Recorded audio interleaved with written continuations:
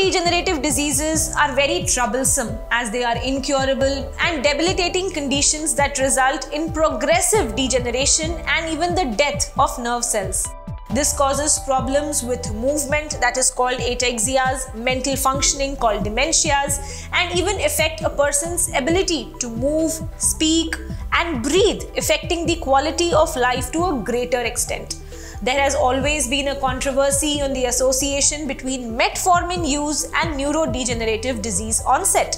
Hello and welcome to Medical Dialogues, your daily dose of health and medical news. I am Dr. Nandita Mohan.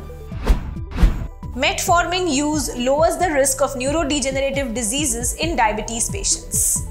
Findings from a recent meta-analysis showed that metformin use, specifically long-term use, is tied to a lower risk of neurodegenerative diseases in diabetes patients. The systematic review as well as the meta-analysis found that the use of metformin, particularly when used for a longer period of time, is associated with a lower risk of neurodegenerative diseases.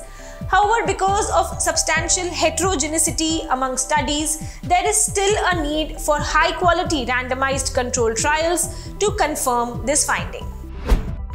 That's all for today. I shall see you tomorrow.